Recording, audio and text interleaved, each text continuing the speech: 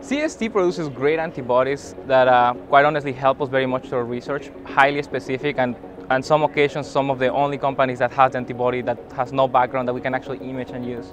CST really um, does a good job validating their antibodies and letting you know um, that they work and in what models they work in. Um, they give lots of information about the different tests that they've done and um, papers that their antibodies have been in.